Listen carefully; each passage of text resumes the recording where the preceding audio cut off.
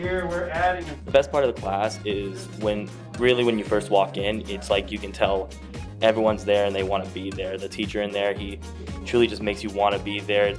I'm learning more than I've learned in the past years every time I have the guy.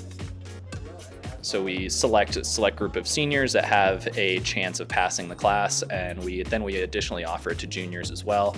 This year we had a, uh, a really great turnout with 30 students that have stayed in the class. All the students that are there are going to succeed, and they're going to get the credits that they need to in order to graduate.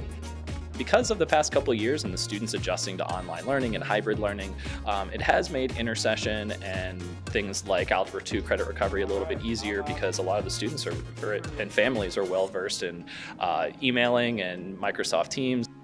We've noticed that a lot of the students that come back second semester are motivated, they're excited about learning, and we see a lot of the kids that are in this class graduate in the spring, and that, that's really what our ultimate goal is it's an opportunity. I'm glad I got to I got to take, and uh, I'm glad I'm doing it right now because it makes everything a lot easier on me for me to walk stage come springtime.